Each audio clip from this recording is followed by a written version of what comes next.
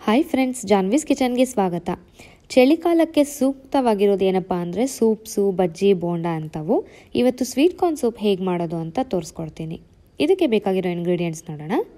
ಸಣ್ಣದಾಗಿ ಹಚ್ಕೊಂಡಿರೋಂಥ ಕ್ಯಾರೆಟ್, ಸಣ್ಣದಾಗಿ ಹಚ್ಕೊಂಡಿರೋಂಥ ಬೀನ್ಸ್ ಸ್ಟೀಮ್ ಮಾಡ್ಕೊಂಡಿರೋಂಥ ಸ್ವೀಟ್ ಕಾರ್ನ್ ಇದು ಹಸಿದು ಸ್ವೀಟ್ ಕಾರ್ನ್ ಉಪ್ಪು ರುಚಿಗೆ ಕರಿಮೆಣಸಿನ ಪುಡಿ ಶುಂಠಿ ಮತ್ತು ಬೆಳ್ಳುಳ್ಳಿ ಸಣ್ಣದಾಗಿ ಹಚ್ಕೊಂಡಿದ್ದೀನಿ. ಕಾರ್ನ್ಫ್ಲೋರ್ ಒಂದು ಮೂರು ಚಮಚ, ಒಂದು ಸ್ಪೂನಷ್ಟು ಬೆಣ್ಣೆ. ಈ ವೆಜಿಟೇಬಲ್ಸ್ನೆಲ್ಲ ಸಣ್ಣ ತುಂಬ ಸಣ್ಣದಾಗಿ ಹಚ್ಚಿ ಇಟ್ಕೊಂಡಿದ್ದೀನಿ. ಫಸ್ಟ್ ಪ್ರೊಸೆಸ್ ಏನಪ್ಪ ಅಂದರೆ ಮಿಕ್ಸಿ ಜಾರ್ ತಗೊಂಡು ಈ ಹಸಿ ಕಾರ್ನ್ ಏನಿದೆಯೋ ಅದನ್ನು ಸ್ವಲ್ಪ ನೀರು ಹಾಕ್ಕೊಂಡು ನುಣ್ಣಗೆ ರುಬ್ಕೋಬೇಕು. ಸ್ವಲ್ಪನೇ ಸ್ವಲ್ಪ ನೀರು ಹಾಕ್ತಾಯಿದ್ದೀನಿ ಫುಲ್ ನುಣ್ಣಗೆ ರುಬ್ಕೊಳ್ಳೋಣ. ನೋಡಿ ಕನ್ಸಿಸ್ಟೆನ್ಸಿ ಹೀಗಿರಲಿ. ಈಗ ಕಾರ್ನ್ಫ್ಲೋರ್ದು ಸ್ಲರಿ ಪ್ರಿಪೇರ್ ಮಾಡ್ಕೊಳ್ಳೋಣ. ಇದಕ್ಕೆ ಒಂದು ಕಪ್ ತಗೊಂಡು ಒಂದು ಮೂರು ಚಮಚದಷ್ಟು ಕಾರ್ನ್ಫ್ಲೋರ್ ಇಲ್ಲಿ ನಾನು ಮೂರು ಬಟ್ಲು ಸೂಪ್ ಮಾಡ್ತಾಯಿದ್ದೀನಿ ಮೂರು ಚಮಚದಷ್ಟು ಕಾರ್ನ್ಫ್ಲೋರ್ ಹಾಕ್ಕೊಂಡಿದ್ದೀನಿ. ಕಾರ್ನ್ ಪೇಸ್ಟ್ ಮಾಡೋಕ್ಕೆ ಒಂದು ಅರ್ಧ ಕಾರ್ನ್ನ ಬಳಸ್ಕೊಂಡಿದ್ದೀನಿ. ನೋಡಿ, ನೀರು ಹಾಕಿ ಉಂಡೆ ಇಲ್ಲದೇ ಮಿಕ್ಸ್ ಮಾಡಿ ಪಕ್ಕಕ್ಕೆ ಇಟ್ಕೋಬೇಕು. ಒಂದು ಪ್ಯಾನ್ ತಗೊಳ್ಳೋಣ. ಇದಕ್ಕೊಂದು ಚಮಚದಷ್ಟು ಬೆಣ್ಣೆ ಹಾಕಿ ಬೆಣ್ಣೆ ಕರಗಿಸ್ಕೋಬೇಕು. ಬೆಣ್ಣೆ ಕರಗಿದ ನಂತರ ಸಣ್ಣದಾಗಿ ಹಚ್ಕೊಂಡಿರೋವಂಥ ಶುಂಠಿ ಮತ್ತು ಬೆಳ್ಳುಳ್ಳಿ ಹಾಕಬೇಕು. ಇದು ಫ್ಲೇವರ್ ಚೆನ್ನಾಗಿ ಕೊಡುತ್ತೆ ಡೈಜೆಷನ್ಗೂ ಒಳ್ಳೆಯದು ಶುಂಠಿ, ಬೆಳ್ಳುಳ್ಳಿ ಹಾಕಿರೋದ್ರಿಂದ ಟೇಸ್ಟ್ ತುಂಬ ಚೆನ್ನಾಗಿರುತ್ತೆ. ಇದನ್ನು ಸ್ವಲ್ಪ ಫ್ರೈ ಮಾಡಿ, ಇದು ತುಂಬ ಚೆನ್ನಾಗಿ ಅರೋಮ ಬರುತ್ತೆ.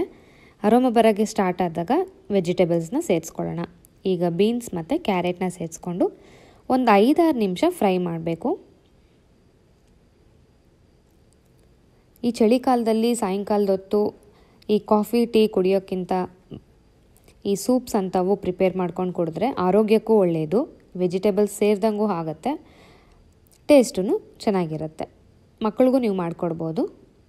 ಈ ಥರ ಚಿಕ್ಕ ಚಿಕ್ಕದಾಗೆ ಹಚ್ಚಿ ಕೊಟ್ಟು, ಸೂಪಲ್ಲಿ ಹಾಕಿ ಕೊಟ್ಟರೆ ಅವ್ರಿಗೆ ವೆಜಿಟೇಬಲ್ಸ್ ತಿಂದಂಗೆ ಅನಿಸೋದೇ ಇಲ್ಲ. ನೋಡಿ, ಅದು ಮುಕ್ಕಾಲು ಭಾಗದಷ್ಟು ಫ್ರೈ ಆಗಿದೆ. ಇವಾಗ ಸ್ವೀಟ್ ಕಾರ್ನ್ ಬೇಯಿಸಿ ಇಟ್ಕೊಂಡಿದ್ವಲ್ಲ, ಅದನ್ನು ಸೇರಿಸ್ಕೊಂಡು ಒಂದು ಎರಡು ನಿಮಿಷ ಫ್ರೈ ಮಾಡೋಣ. ಅದು ಫ್ರೈ ಆದಮೇಲೆ ನಾವು ಕಾರ್ನ್ ಪೇಸ್ಟ್ ಏನು ತಯಾರು ಮಾಡ್ಕೊಂಡಿದ್ವೋ ಅದನ್ನು ಹಾಕಿ ಫ್ರೈ ಮಾಡಬೇಕು. ಈ ಪ್ರೋಸೆಸ್ ಮಾಡಬೇಕಾದ್ರೆ ಸಿಮ್ಮಲ್ಲಿರಲಿ ಇದು ಬೇಗ ಗಟ್ಟಿ ಆಗುತ್ತೆ ಕಾರ್ನ್ ಹಾಕಿದ್ರಿಂದ. ನೋಡಿ, ಇದು ಕಲರ್ ಚೇಂಜ್ ಆಗ ಅದಕ್ಕಾಗುತ್ತೆ ಫ್ರೈ ಆಗಿದ ತಕ್ಷಣ ಇದು ಡಾರ್ಕಿಶ್ ಎಲ್ಲೋ ಬರುತ್ತೆ. ಹಸಿ ವಾಸನೆ ಹೋಗಲಿ ಅಂತ ಇದು ನೀರು ಹಾಕೋಕ್ಕೆ ಮುಂಚೆ ಫ್ರೈ ಮಾಡೋದಿದೆ ಈ ಥರ ನೋಡಿ, ಇದು ಇಷ್ಟು ಫ್ರೈ ಆದಮೇಲೆ ಮೂರು ಬಟ್ಲಷ್ಟು ನೀರು. ಮೂರು ಅಥವಾ ನಾಲ್ಕು ಕಪ್ಪಷ್ಟು ಹಾಕ್ಬೋದು, ಮೂರು ಕಪ್ ಸೂಪ್ಸ್ಗೆ. ಇದು ಬಾಯ್ಲ್ ಆಗ್ತಾ ಆಗ್ತಾ ಸ್ವಲ್ಪ ಕಮ್ಮಿ ಆಗುತ್ತೆ ವಾಲ್ಯೂಮು ಸೊ ನಾನಿಲ್ಲಿ ನಾಲ್ಕು ಕಪ್ಪಷ್ಟು ನೀರು ಹಾಕಿದ್ದೀನಿ, ಚೆನ್ನಾಗಿ ಕುದಿಯೋಕ್ಕೆ ಬಿಡಬೇಕು.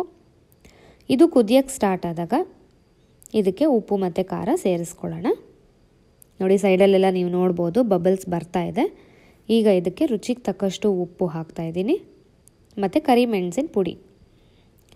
ಮಕ್ಳಿಗೆ ಕೊಡೋದಾದರೆ ಇದನ್ನು ನೋಡ್ಕೊಂಡು ಹಾಕ್ಕೊಳ್ಳಿ, ಮತ್ತು ಸೂಪ್ ಕುಡಿಯೋವಾಗ ಸೇರಿಸ್ಕೋಬೋದು. ಈ ಹಂತದಲ್ಲಿ ನೀವು ಸಕ್ಕರೆ ಕೂಡ ಆ್ಯಡ್ ಮಾಡ್ಕೋಬೋದು. ಸೂಪ್ ಸ್ವೀಟಿಶ್ ಆಗಿ ಬೇಕು ಅಂದರೆ ನಾನಿಲ್ಲಿ ಸಕ್ಕರೆ ಆ್ಯಡ್ ಮಾಡಿಲ್ಲ. ಈಗ ಇದನ್ನು ಚೆನ್ನಾಗಿ ಕುದಿಯೋಕ್ಕೆ ಬಿಡೋಣ. ನೋಡಿ, ಕುದಿ ಬಂದ ಮೇಲೆ ಈ ಕಾರ್ನ್ಫ್ಲೋರ್ ಸ್ಲರಿ ಏನು ಪ್ರಿಪೇರ್ ಮಾಡ್ಕೊಂಡಿದ್ವೋ ಅದನ್ನು ಹಾಕಿ ಚೆನ್ನಾಗಿ ಮಿಕ್ಸ್ ಮಾಡಬೇಕು. ಕಾರ್ನ್ಫ್ಲೋರ್ ಹಾಕೋ ಕಾರಣ ಏನಪ್ಪ ಅಂದರೆ ಕ್ರೀಮಿ ಕನ್ಸಿಸ್ಟೆನ್ಸಿ ಬರುತ್ತೆ ಸೂಪು, ಅಂದರೆ ತಿಕ್ನೆಸ್ ಆಗುತ್ತೆ. ನಿಮ್ಗೊಂದು ವೇಳೆ ಜಾಸ್ತಿ ತಿಕ್ನೆಸ್ ಆಯಿತು ಅಂದರೆ ಈ ಹಂತದಲ್ಲಿ ನೀರು ಕೂಡ ಸ್ವಲ್ಪ ಸೇರಿಸ್ಕೊಂಡು ಅಡ್ಜಸ್ಟ್ ಮಾಡ್ಕೋಬೋದು. ನಿಮಗೆ ಸೂಪ್ ಕುಡಿಯೋಕ್ಕೆ ಯಾವ ಕನ್ಸಿಸ್ಟೆನ್ಸಿ ಇರಬೇಕು, ಆ ಕನ್ಸಿಸ್ಟೆನ್ಸಿಗೆ ನೀವು ನೀರು ಹಾಕಿ ಅಡ್ಜಸ್ಟ್ ಮಾಡ್ಕೋಬೋದು.